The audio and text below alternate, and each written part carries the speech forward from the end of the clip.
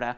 A partir d'ara, els productors vinícoles que vulguin formar part de la DO Terra Alta hauran d'incorporar noves condicions per estar sota aquest segell en el seu vi blanc. A més, el Consell Regulador també crearà un nou segell perquè l'embotellament dels cellers de la DO tinguin totes les garanties de traçabilitat. Joaquim Domingo, la finalitat és evitar el frau i les irregularitats de producció dels seus vins. Exacte, Jordi, bona tarda. I s'aplicarà des de la producció del fruit, del raïm a la vinya, fins a la pròpia elaboració del vi. Ens acompanya el president de la denominació d'origen Terra Alta, Joana Rufí. Bona tarda. Expliqui'ns aquests nous paràmetres que hauran de... són els condicionants a partir d'ara de l'elaboració del vi aquí a la DO. Sí, bé, a veure, eh, la denominació d'origen Terra Alta el que fem és adaptar-nos una mica ja al, al món que estem vivint amb el nou plec de condicions, el plec de condicions antic estava fet ja de fer molts anys i per tant hem intentat adequar les necessitats i les exigències que els nostres elaboradors i viticultors i viticultores est ens estan demanant. No? Per tant, eh, hi haurà uns canvis eh, significatius a, dins del plec de condicions. Eh, un d'ells, i molt important, és eh, les noves característiques eh, que estaran a dintre del plec de condicions amb la nostra varietat emblema d'aquí del territori, que és la garnatxa blanca, no? amb unes condicions, sí que el distintiu de garantia garnatxa blanca ja s'estava utilitzant, però sí que adaptarem pues, la, les noves característiques organolèptiques que han de tindre eh, els vins garnatxa blanca i també adaptarem amb una mica de mm, donar-li més valor amb aquest distintiu de garantia, per tant, els cellers que vulguin elaborar un 100% garnatxa blanca eh, hauran de eh, tenir una mica més d'exigència amb, per exemple, la producció per hectàrea d'aquesta varietat, eh, també tenim en compte l'envelliment del vi abans de sortir al mercat, que no podrà sortir aquest distintiu de garantia abans del febrer,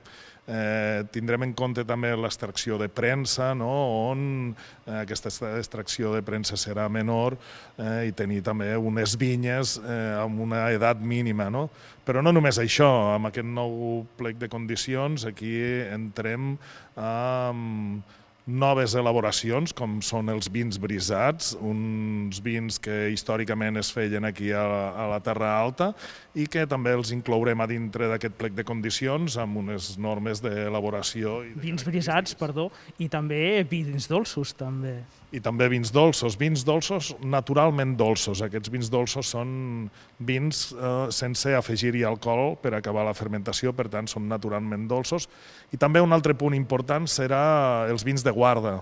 Eh? Fins ara en regíem una mica per aquestes nomenclatures més riojanes, que eren els eh, criances, reserves o grans reserves. En, inclourem també en aquest plec de condicions els vins de guarda, on són vins que com a mínim han de tenir 12 mesos d'envelliment de, de amb bota. No?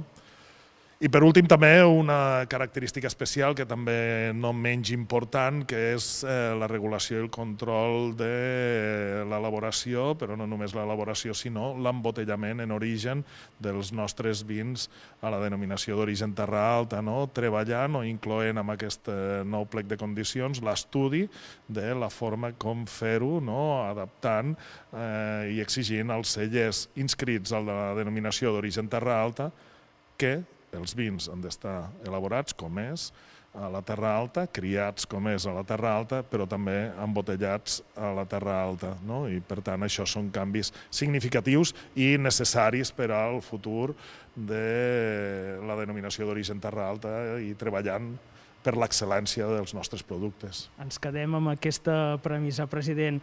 Moltes gràcies. Doncs amb tota aquesta explicació, la denominació d'origen Terra Alta fa un pas més per aconseguir la plena excel·lència dels seus vins.